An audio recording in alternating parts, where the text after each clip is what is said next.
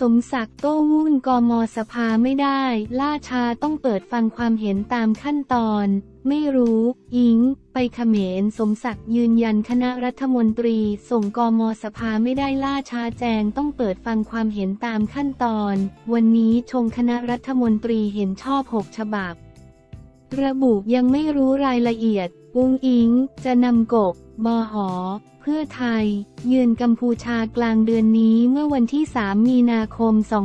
2567 ที่ทำเนียบรัฐบาลนายสมศักดิ์เทพสุทิน รองนายกรัฐมนตรีกล่าวก่อนประชุมคณะรัฐมนตรี คณะรัฐมนตรีถึงวาระการพิจารณาของคณะรัฐมนตรีว่าหนึ่งในนั้นมีร่างงบ รอ บอ ควบคุมแอลกอฮอล์พิจารณา ซึ่งเป็นหนึ่งในกฎหมายที่ตนเองพิจารณาเร่งรัด เพื่อนำเข้าเสนอต่อสภาผู้แทนราษฎร โดยยอมรับว่ามีกฎหมายหลายฉบับที่ล่าช้า เพราะติดขั้นตอนการรับความเห็นจากหน่วยงานนั้นๆ วันนี้จึงจะเร่งรัด 6 ฉบับเข้าสู่การพิจารณาก่อนยืนยันว่าการพิจารณาร่างกฎหมายของรัฐบาลไม่ได้ล่าช้าตามข้อสังเกต หรือการทักท้วงของฝ่ายค้านกฎหมาย พร้อมอธิบายว่าหากเป็นกฎหมายของหน่วยงานจะมีกระบวนการขั้นตอนมากกว่า การเสนอร่างกฎหมายสภา ที่สามารถยื่นเข้าสภาได้เลย โดยเฉพาะหากเป็นกฎหมายเกี่ยวกับการเงิน ต้องผ่านการอนุมัติจากนายกรัฐมนตรีก่อน อย่างการทำกฎหมายการกระจายอำนาจที่ผ่านมาแล้ว 20 ปียังคืบหน้าไม่ถึงไหนเนื่องจากเกี่ยวข้องกับการใช้จ่ายงบประมาณองค์กรปกครองส่วนท้องถิ่น อปท รวมถึงการถ่ายโอนบุคลากรนายสมศักดิ์ในฐานะแกนนำพักเพื่อไทย กล่าวอีกว่ายังไม่ทราบรายละเอียดหรือกำหนดการที่นสแพทองทาน ชินวัตรหัวหน้าพักเพื่อไทยที่จะนำคณะผู้บริหารของพักเยือนกัมพูชาในกลางเดือนนี้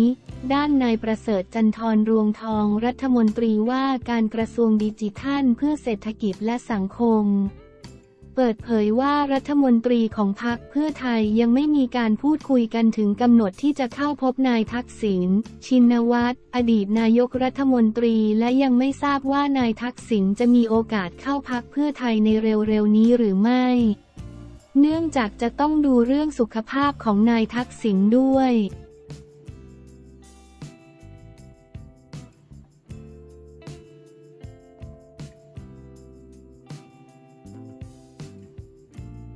ดนุพรตอบ ทิธาวิจารณ์ผิวเผินให้ข้อมูลไม่ครบยันไทยเป็นฮับการบินได้แน่ดนุพรตอบ ทิธาวิจารณ์ผิวเผินด้วยมุมมองไม่ลึก ยันไทยเป็นฮับการบินได้แน่ติงฉวยโอกาสให้ข้อมูลหนองวัวซอไม่ครบทำประชาชนเข้าใจผิดเมื่อวันที่ 3 มีนาคม 2567 นายดนุพร ปุณกัน สสบัญชีรายชื่อและโฆษกพักเพื่อไทย พอท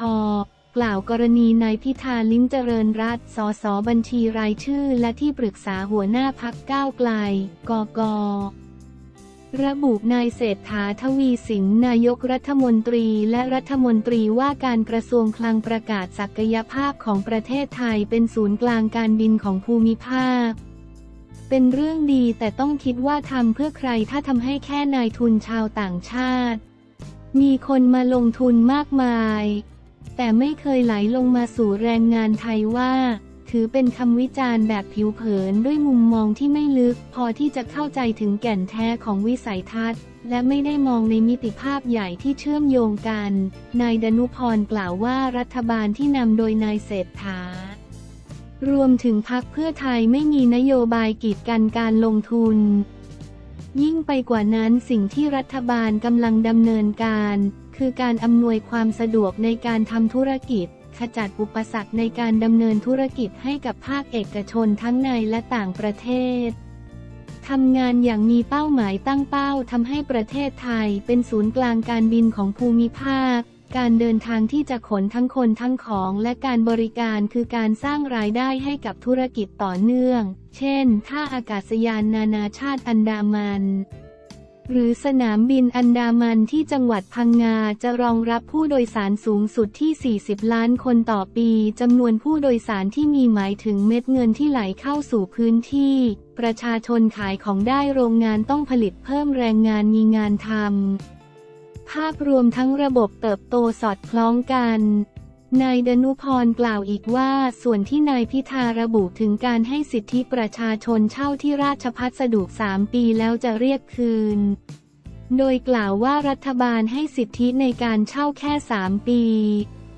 อย่างนี้ไม่ถือว่าเป็นกรรมสิทธิ์ผมจะทำร้านก๋วยเตี๋ยวทาสียังไม่แห้ง เขาจะเอาคืนก็ได้ความมั่นคงในชีวิตมันไม่มีนั้น เป็นการฉวยโอกาสทางการเมืองให้ข้อมูลที่ไม่ครบถ้วน จนอาจนำไปสู่ความเข้าใจผิดได้ ที่ผ่านมาการจัดสรรที่ดินทำกินในกลุ่มพื้นที่ราชพัสดุ เช่นหนองวัวซอโมเดลเป็นการมอบสัญญาเช่าที่ดินราชพัสดุไม่ใช่กรรมสิทธิ์ตามที่นายพิธากล่าวอ้าง สำหรับที่ราชพัสดุหนองวัวซอเป็นระบบสิทธิการเช่า 3 ปี ประชาชนที่เช่าอยู่เดิมต่อสัญญาได้ตลอดและต่อเนื่อง หากจะเช่าเกิน 3 ปีก็ทำได้ แต่ต้องเสียค่าธรรมเนียมการจดทะเบียนสิทธิการเช่าจำนวนมาก การต่อสัญญา 3 ปีครั้งเป็นทางเลือกที่เหมาะสมกับประชาชน รัฐบาลนายเศรษฐาเพิ่งลงพื้นที่มอบสัญญาเช่าที่ดินในโครงการหนองวัวซอโมเดลไปเมื่อวันที่ 19 กุมภาพันธ์ที่ผ่านมาและรัฐบาลจะเดินหน้าเพิ่มที่ดินทำกินให้ประชาชนต่อเนื่องในหลายวิธีการ ซึ่งหนองวัวซอโมเดลรัฐบาลทำมาระยะหนึ่งแล้ว และนายกรัฐมนตรีมีความตั้งใจในเรื่องนี้มากขอตำหนินายพิธา หากต้องการทำการเมืองใหม่อย่างสร้างสรรค์อย่างที่พักก้าวไกลอยากเป็น ควรเริ่มที่การให้ข้อมูลที่ถูกต้องครบถ้วนกับประชาชน นายดนุพรกล่าว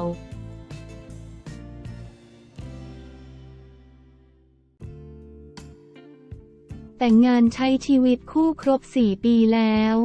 สำหรับคู่รักสีริต้าเจนเซนกับกรณรงค์เดชซึ่งตอนนี้คู่รักสุดหวานก็ได้มีโซ่ทองคล้องใจหนึ่งคน คือน้องกวินณรงค์เดชโดยล่าสุดเมื่อวันที่ 29 กุมภาพันธ์ 67 ที่ผ่านมาเป็นวันครบรอบแต่งงานปีที่ 4 ทั้งคู่ได้จัดงานฉลอง ซึ่งนับว่าพิเศษสุดๆ เนื่องจากทั้งคู่จัดวันครบรอบได้ตรงวัน ซึ่ง 4 ปีจะมีครั้งสีริต้าได้เผยให้เห็นภาพบรรยากาศนึกว่าแต่งงาน โนกกั้นใหม่อีกรอบเลยทีเดียว